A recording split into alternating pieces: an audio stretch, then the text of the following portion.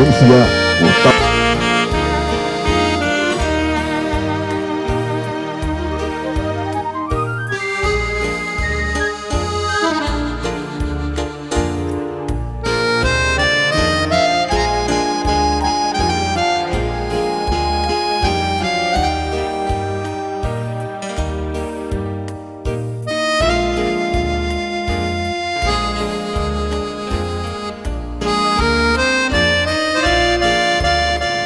Hace 12 meses nosotros teníamos Petropar, el emblema Petropar tenía 34 estaciones.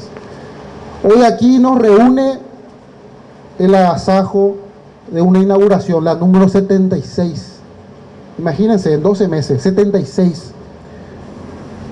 Si Dios quiere, este mes vamos a estar inaugurando también la número 85, vamos a llegar a 85 estaciones y vamos a estar sin dudar llegando a las 120 estaciones que nos propusimos.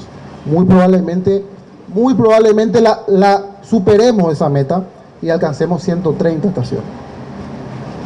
Gracias a estaciones como esta, una estación hermosa, realmente un modelo, Alejandro, un modelo de estación, es el tipo de estaciones que queremos que se vincule con el, con el emblema, con la marca Petropar que lo que está es uno apostando, el sector privado está apostando por la marca Petropar.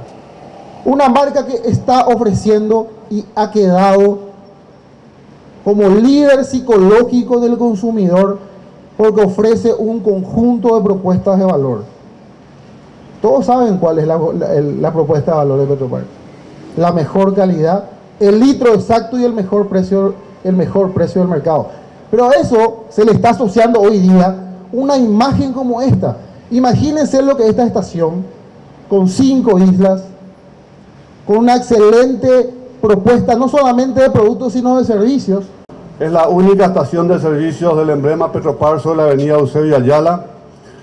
Es una ubicación realmente que estuvimos mirando mucho tiempo y se dio una combinación entre el propietario del terreno y nuestra empresa. Así que Gracias a ese acuerdo se pudo hacer esta construcción y también a la seguridad que hablaba el presidente Petropar. Son cuatro años de gobierno.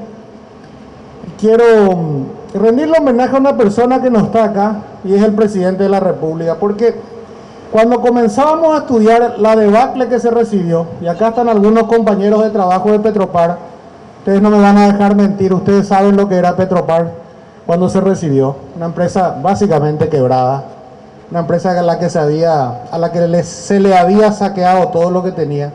Empezamos a mirar el, mercado de combustible y dice el presidente Cartes, retail ahí lo que está al margen.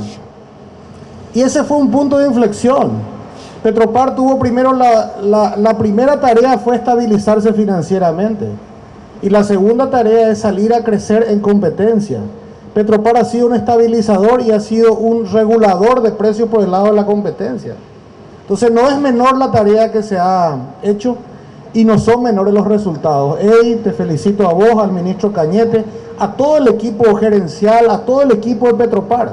Ustedes le están cambiando la historia probablemente a la empresa más estigmatizada del Paraguay, a la corrupta Petropar. Hoy está ganando dinero y está haciendo que otros ganen dinero.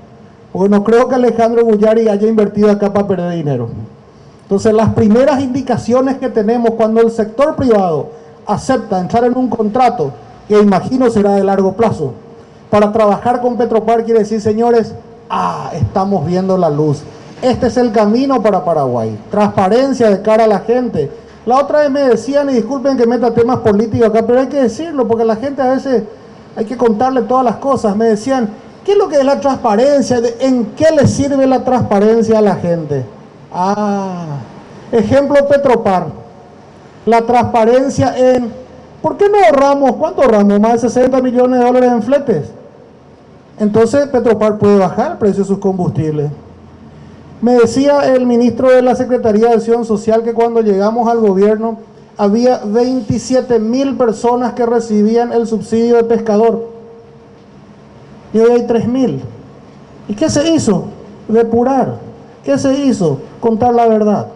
Paraguay por el camino de la verdad tiene destino de grandeza y Petropar está encabezando ese camino y le felicito muchísimo. Alejandro, éxitos, que Dios te bendiga, que le bendiga a toda la gente del Grupo Bahía, que vendan mucho y que todos sean felices. Muchas gracias. Nosotros del sector privado queremos previsibilidad y queremos seguridad. En, esta, en este acuerdo que hicimos, Petropar nos dio esas garantías, nos dio esa seguridad, así que muchas gracias porque realmente la inversión es alta y es muy a largo plazo. Así que muchas gracias por, por el acuerdo ese que hicimos, presidente.